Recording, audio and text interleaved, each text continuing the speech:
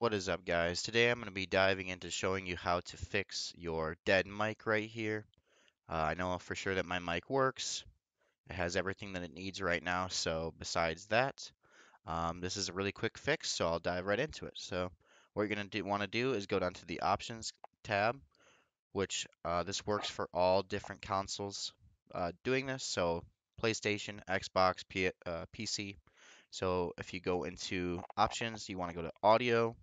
And then from audio, you're going to want to make sure that your voice chat is enabled, your open mic is on, and then right here, as you can see, the threshold can be messed up. So the threshold, you're going to want to bring down all the way down to zero, and then you can test your microphone. La la la la la la la la. So as you can see now, it's working here. So let's see. La la la la la la la. So yeah, now it's populating here, it's populating here. You're off to a good start.